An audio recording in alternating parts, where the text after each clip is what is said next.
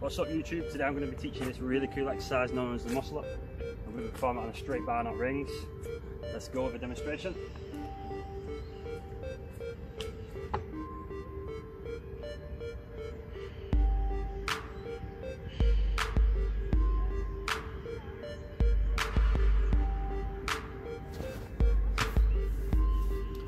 Okay, so we're going to look at the prerequisites. The first one being toes to bar.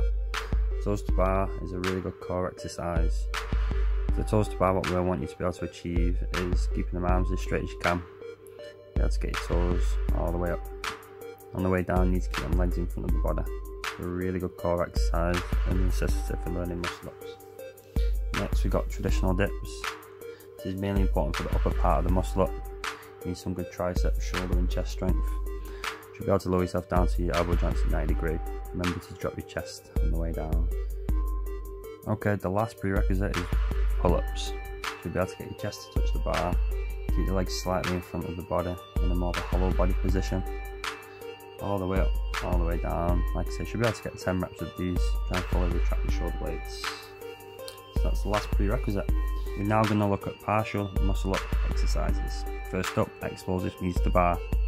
When we're doing this, we want to try and explode our body up as high as we can using the momentum of our legs.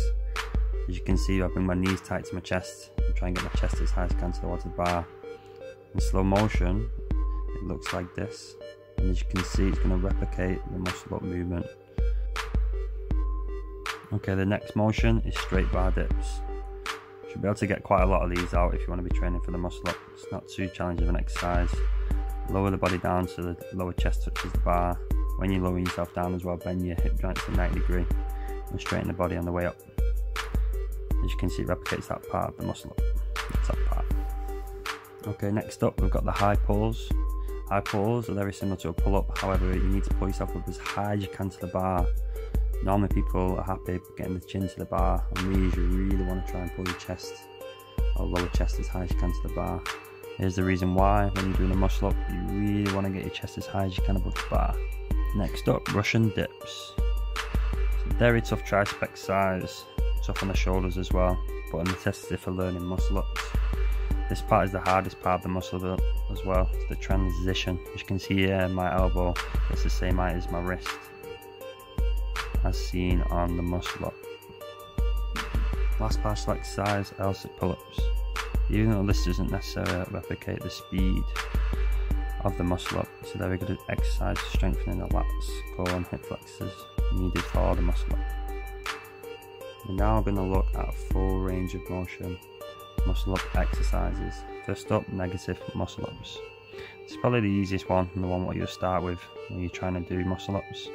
Just try and get a feel of a full range exercise. You just want to jump up, lower the chest down, and bring your body down as slow as you can around the bar. Let's just jump up, lower the chest, keep the elbows tight to the bar and your body, do a negative pull up. Awesome. So what we're going to look at next is jump muscle ups. The jump muscle up, you get the benefit of the negative muscle up as well. However, you're going to try and slowly keep yourself up with the momentum of your legs.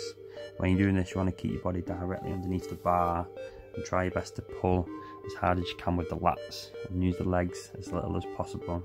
Like I say, it's quite a good exercise for mastering the muscle up. Quite a lot of people like to use this.